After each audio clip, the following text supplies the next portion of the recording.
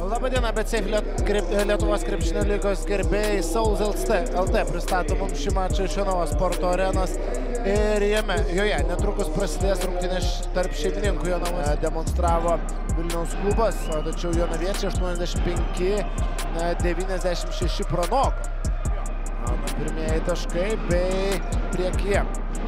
Daržusi trumpam buvo Jonavos komanda, tačiau Ingridas Žukauskas. Problemų. Barys toli nuo krepšio, Larsonas. Iš trijų taškų zonos. O metai ir tai daro sėkmingai. Ryanas Larsonas pirmą arti atkovotą kamulio puolime, tačiau antrojo šanso. Vilniečiai nesusikūrė, o čia tranzicijoje Tulenkus. Nacionalinė krepšinio lygoje tuomet greitai įrodė savo vertę, persikėlė į LKL ir čia Justas Furmanavičius krauna kamuolį daugiau nei dvi minutės. Lieka pirmajame kelinyje. Regimantas minėtas taip, negalima palikti Regimanto svečius iš Vilniaus. Čia įmetamas kamuolys arčiau krepšio ir Vuls komanda byra. Gynyba. Netoli nuo Vuls yra Utenos ir Panevežio komandos, kurios tokių tik pralaimėjimų Vilniečių tik ir talauktų. Žemaitis.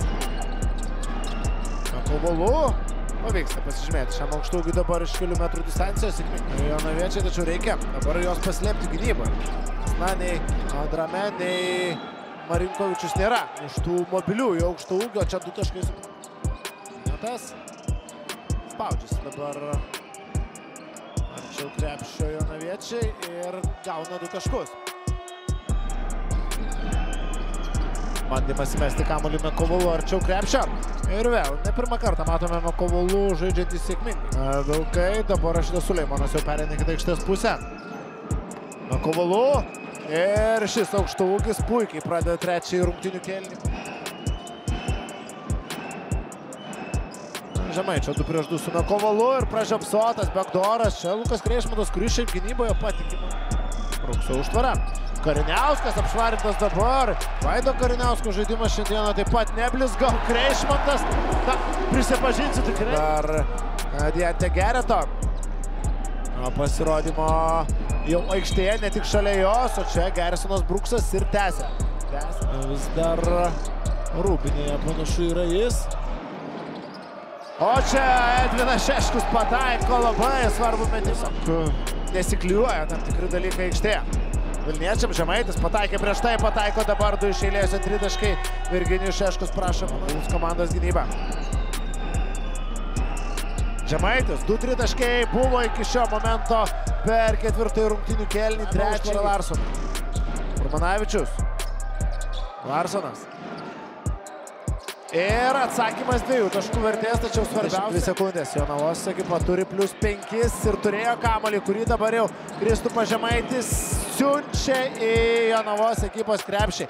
Visiškas ketvirto kelnio tajame kelinėje. Jonaviečiai iš paskutiniųjų. Kimba. Ir tuos pergalės šansus. Larsonas po driblingo prieš Brukso ranką ir Ryanas Larsonas. Wow, kokį tritaškį dabar patai. Daug prisidėjo prie to, kad Jonava vis dar turėtų aštuonių taškų pranašumą dabar ir dešimties. Ryanas Larsonas Jonavoje netrukus Vaidu Vaškevičiumi. Gal ir kaklaraištį išvystels po rungtynių. Larsonas yra šiandien MVP Ryano Larsono žaidimas ketvirtajame kelnyje antroje mačo dalyje. Yra tiesiog, tiesiog kosmosas. Jis traukia Jonavą pergalės link. Rašydas Suleimonas dar su Edvinu Šeškumi baigia rungtynės iki galos.